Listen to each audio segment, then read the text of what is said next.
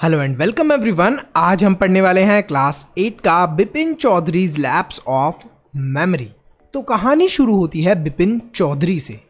Bipin Chaudhary regularly visit करा करते थे कालीचरण का बुक शॉप ये जो बुक शॉप थी, ये नियर न्यू मार्केट थी। मतलब न्यू मार्केट जो था, वहाँ पर थी ये बुक शॉप एक दिन की बात होती है जब वे इस बुक शॉप को विज़िट कर रहे थे, अचानक से उन्हें ऐसा लगता है जैसे कि कोई उन्हें घूर रहा है या फिर ऑब्ज़र्व कर रहा है मतलब देख रहा है। जैसे ही वो पीछे मुड़ते हैं, वो देखते हैं कि एक इंसान उनकी तरफ़ देख रहा है और ये इंसान उन्हें देखकर स्माइल करने लग जाता है। वो इस इंसान को देख के काफ़ी ज़्यादा सरप्राइज़ हो जाते हैं, क्योंकि बिपिन बाबू इस इंसान को नहीं पहचान पाते। अब जो बिपिन चौधरी हैं, इन्हें हमने बिपिन बाबू भी बोला है। तो जो बिपिन बाबू होते हैं, वो इस इंसान को नहीं पहचान पाते। ही टोल्ड बिपिन बाबू ये जो इंसान था, ये जो आदमी था, ये बिपिन बाबू को बोलता है कि, अरे बिपिन बाबू आप मुझे भूल गए क्या? आप मुझसे मिले थे रांची के अंदर। जब आप रांची आए थे ना 1958 में, एक हफ़्ते के लिए, तब आप मुझे रांची में मिले थे। तो बिपिन बाबू बोलते हैं कि, यार, देखो, आपको कोई गलत फहमी हुई है। अब ये जो इंसान होता है, इसका नाम होता है परिमल घोष। तो वो परिमल घोष को बोलते हैं कि, देखिए, आपको कोई गलत फहमी हुई है। मैं वो नहीं हूँ इंसान जो रांची में आया था विज़िट करने के लिए। तो यहाँ पर बोलते हैं कि मैं कभी भी रांची भी नहीं गया था। बिपिन बाबू ये बोलते हैं कि मैं तो कभी रांची गया ही नहीं। लेकिन जो घोष होते हैं, वो इतनी ज़्यादा डिसबिलीफ में होते हैं मतलब वो ऐसे देख रहे होते हैं, इनकी तरफ़ इनको ऐसे बताते हैं कि देखो, ऐसा तो हो ही नहीं सकता कि आप रांची नहीं आए। शायद आप भूल रहे हैं। और फिर यहाँ पर जो घोष थे, वो इनको एक इंसिडेंट सुनाने लगते हैं, एक किस्सा बताने लगते हैं। बोलते हैं, जब आप रांची में ट्रैवल कर रहे थे, तब आपको याद है क्या बिपिन बाबू, बिपिन चौधरी, कि आपने अपनी एक नी को इंजर्ड कर लिया था इन हुड्रो हुड्रो एक जगह थी, वहाँ पर आपने अपनी नी को इंजर्ड कर लिया था। और वहाँ पर जो घोष थे, यानी कि मैं था, मैं आपकी मदद करने के लिए आया था। आप एक दिनेश मुखर्जी नाम के इंसान को भी जानते हो, रांची के अंदर, जो कि उस समय पर आपके साथ थे। तो बिपिन बाबू काफ़ी ज़्यादा सरप्राइज़ हो जाते हैं कि ये दिनेश मुखर्जी को भी जानता है। Ghosh was sure that Chaudhuri knew है तो यहाँ पर जो मिस्टर घोष थे, परिमल घोष थे, ये बहुत ज़्यादा श्योर थे कि चौधरी उन्हें जानते हैं, बिपिन चौधरी उन्हें जानते हैं। और वो ये भी बताते हैं कि बिपिन चौधरी, क्या आपको याद नहीं है कि आप एक बंगलो के अंदर रहे थे, जिसको आपने किराए पर लिया था? उस बंगलों के अंदर आप मुखर्जी मुखर्जी जी जो थे, वो आपके साथ उस बंगलों के अंदर नहीं रहे थे। मुखर्जी जी अपनी सिस्टर के साथ रहे थे। जो दिनेश मुखर्जी थे, वो अपनी सिस्टर के साथ रहे थे। अब ये दिनेश मुखर्जी कौन है? दिनेश मुखर्जी, ऐसे समझ लो, शायद बिपिन बाबू का, उस समय का कोई दोस्त होगा जो कि रांची में ही रहता होगा। तो यहाँ पर जो जो परिमल घोष थे, वो ऐसा बोलते हैं कि, बिपिन बाबू, आपने तो एक किराए के बंगले में रहते थे और जो दिनेश मुखर्जी थे, वो अपनी सिस्टर के साथ रहते थे। ही इवन रिमाइंडेड चौधरी और यहाँ तक कि जो परिमल घोष होते हैं, वो चौधरी जी को ये भी बोलते हैं कि बिपिन चौधरी आप याद करो कि आप हमेशा एक बैग कैरी करा करते थे जब भी आप बाहर घूमने आते थे। और इस बैग के अंदर बहुत सारी बुक्स होती थी। तो जब भी आप कहीं घूमने जाते थे, अपने साथ एक बैग को हमेशा लेकर जाते थे। अब जो बिपिन बाबू थे, ये काफ़ी ज़्यादा कन्फ्यूज़ हो जाते हैं। ये सोचते हैं कि यार, इसको इतनी सारी सीक्रेट बातें कैसे पता है मेरी? इसको बैग के बारे में भी पता है, इसको ये भी पता है कि मेरा एक दोस्त था दिनेश मुखर्जी रांची के अंदर, उसके साथ मैं रहा हूँ तो इसको इतनी सारी बातें कैसे पता है? अक्टूबर का समय था, घोष ने बोला। घोष ने बोला, जिस समय आप आए थे, उस समय अक्टूबर का समय था। अब बिपिन बाबू जो थे, वो अक्टूबर 1958 के अंदर अपने एक दोस्त के पास रहते थे, जो कि कानपुर में था।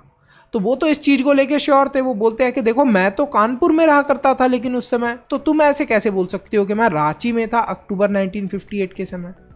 घोष जो थे, वो बहुत ज़्यादा श्योर थे अपनी बात को लेकर। घोष ने बोला कि देखो, बिपिन बाबू, आप भूल रहे होगे, लेकिन मैंने आपकी मदद करी थी। आप वहाँ पर अपने दोस्त के साथ रहे थे।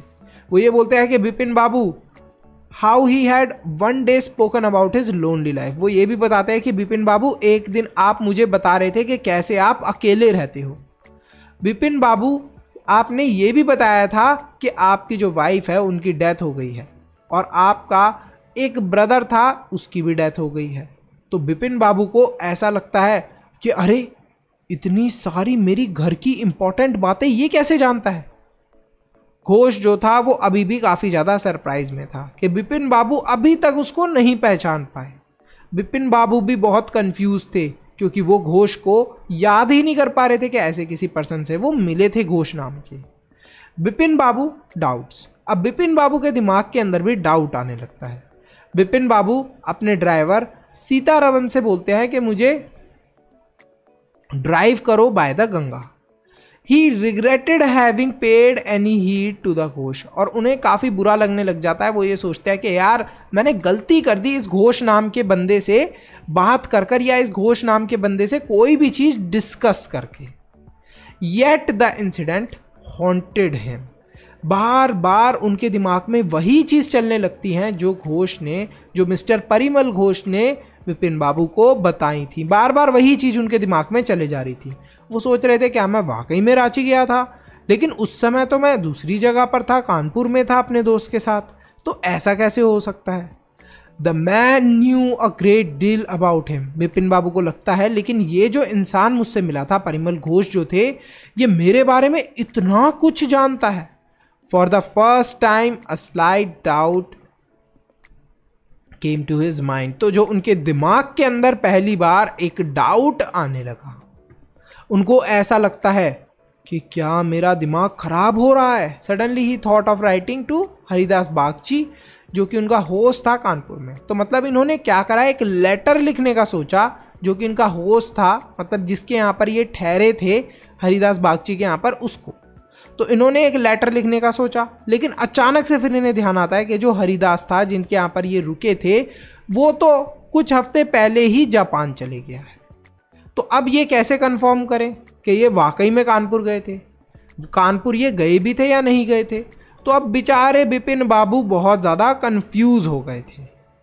बिपिन बाबू दोबारा से कोशिश करते हैं कि मैं अब इस चीज़ को कंफर्म करने वाला हूँ।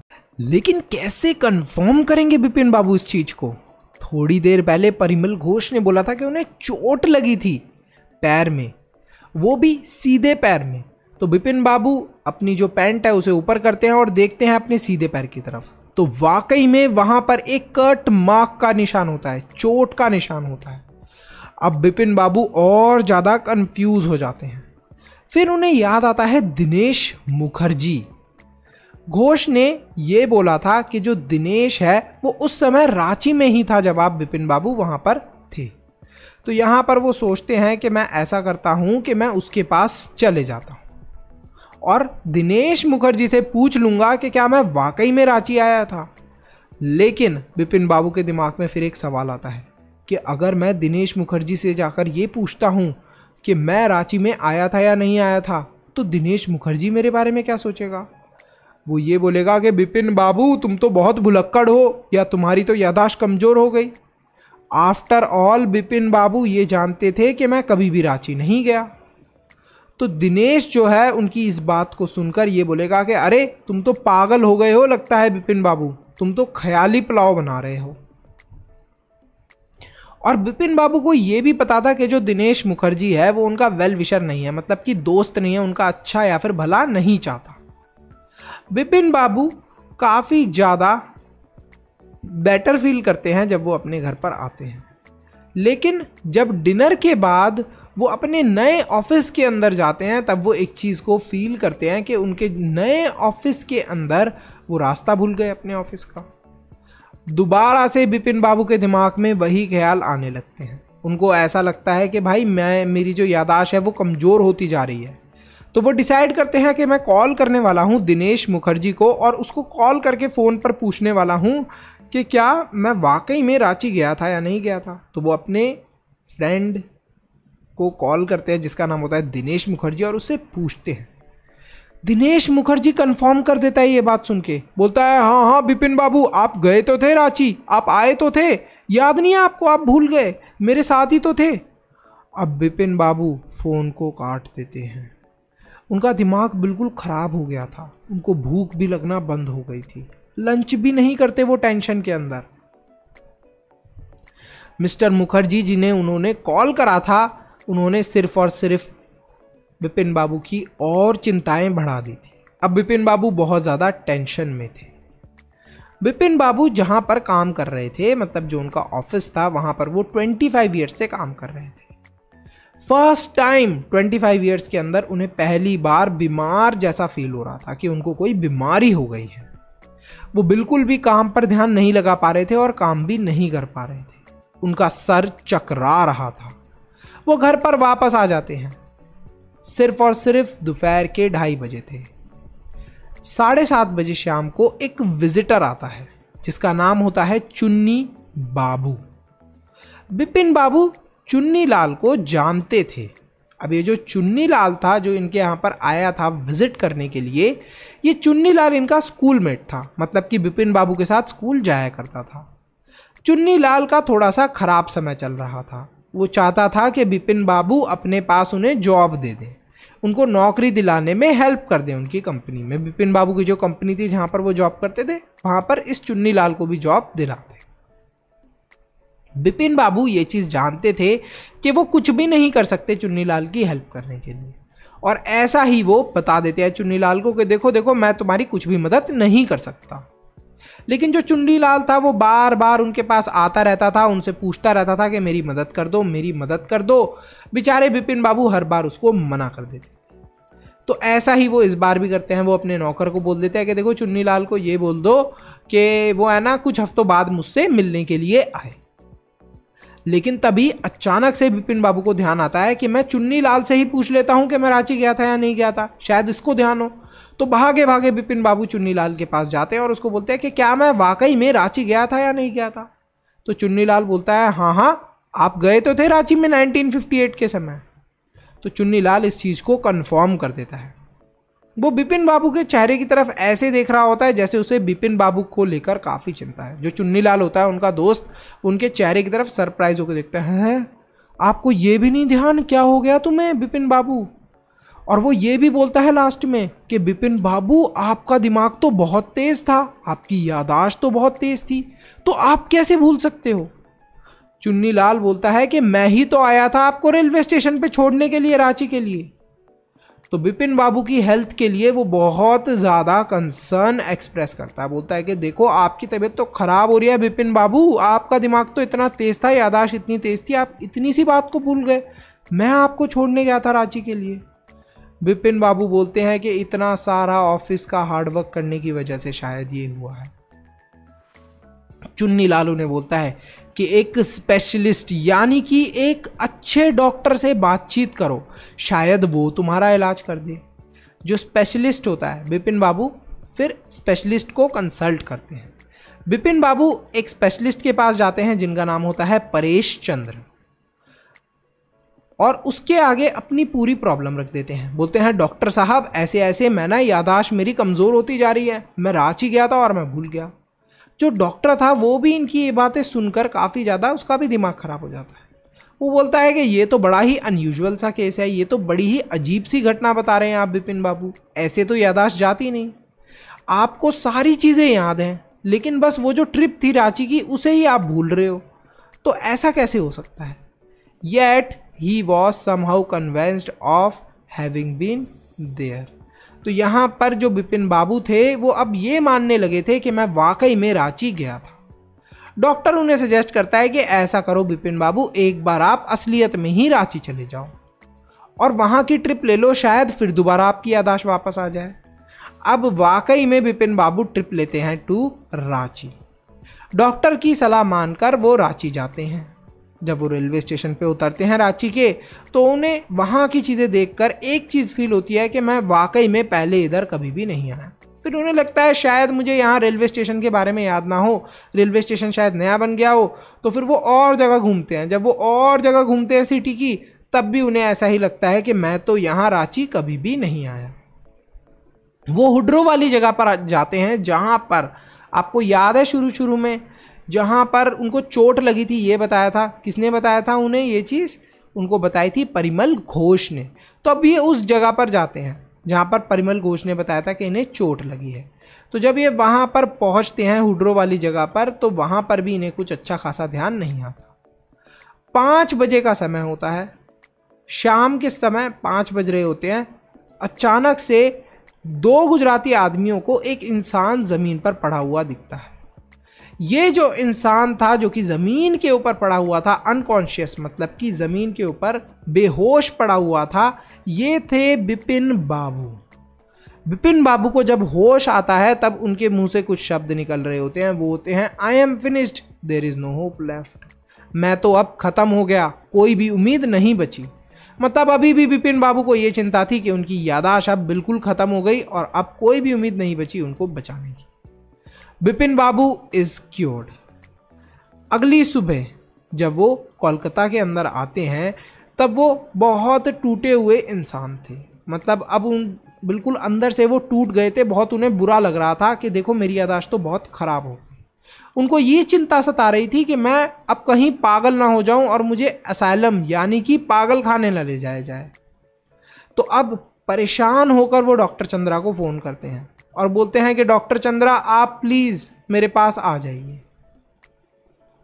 और बेड में लेट जाते हैं अपने सर पर एक आइस बैग रखकर। थोड़ा सा ठंडा ठंडा ठंडा जैसे आपने पट्टी टाइप देखी इसी टाइप से एक आइस बैग आता है, उसे रख के लेट जाते हैं। अचानक से विपिन बाबू का नौकर आता है एक एनवलप के साथ में। इस एनवलप के अंदर एक लेटर होता है। ये लेटर लिखा होता है चुन्नी लाल ने। चुन्नी लाल ने अपने लेटर के अंदर लिखा होता है सारी वो चीज़ें जो कि उसे बुरी लगती हैं बिपिन बाबू के बारे में। अपनी पूरी बिटरनेस को, सारा जो भी उसका कड़वापन था, यानी कि बुरी चीज़ें थी, वो सारी चीज़ें वो बिपिन बाबू के लिए लिख देता है। वो बोलता है कि, बिपिन बाबू, तुम्हारी जो मेमोरी है वो बिल्कुल ठीक है। ये पूरा का पूरा मेरा ही प्लान था कि तुम्हें मैं ऐसा बुरा फील कराऊं। वो बिपिन बाबू को बोलता है कि ये एक तरीके का प्रैंक था, यानी कि जोक था तुम्हारे ऊपर। क्या आप अपने दोस्त के ऊपर कभी ऐसा जोक प्लान कर सकते हो? कर सकते हो तो कमेंट ज़रूर करना। अब यहाँ पर तो चुन्नी लाल ने एक प्रैंक, यानी कि जोक कर दिया था बिपिन बाबू के ऊपर।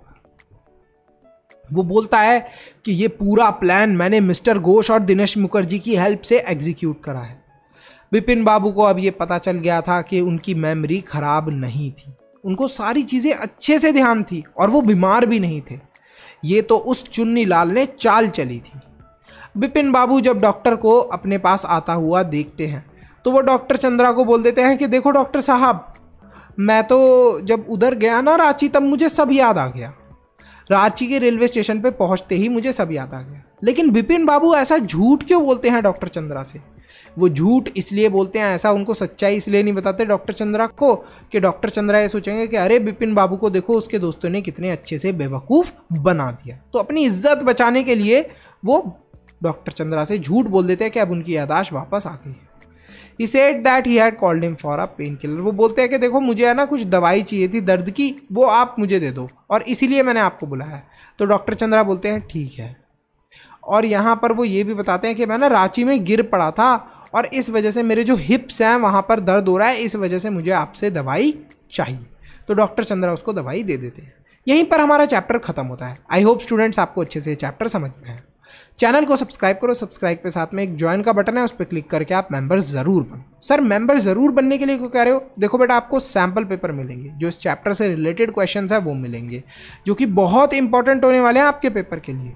और क्या मिलेगा सर और मिलेंगे नोट्स जिनसे अभी अभी हमने पढ़ाई करी है। तो इन नोट्स के थ्रू आप इतने बड़े चैप्टर को बहुत ही शॉर्ट में रिवाइज कर सकते हो। देखो कितने शॉर्ट में मैंने बनाए हैं ये नोट्स साथ ही में आप कमेंट करो आप कमेंट करना, ये ज़रूर बताना कि क्या आप अपने दोस्त के ऊपर ऐसा प्रैंक कभी प्ले कर सकते हो? या क्या कभी आपके दोस्त ने आपके ऊपर ऐसा प्रैंक करा है? So thank you so much for watching this video in the next video by battle then मनुष्य ज्ञान, लेते रहो।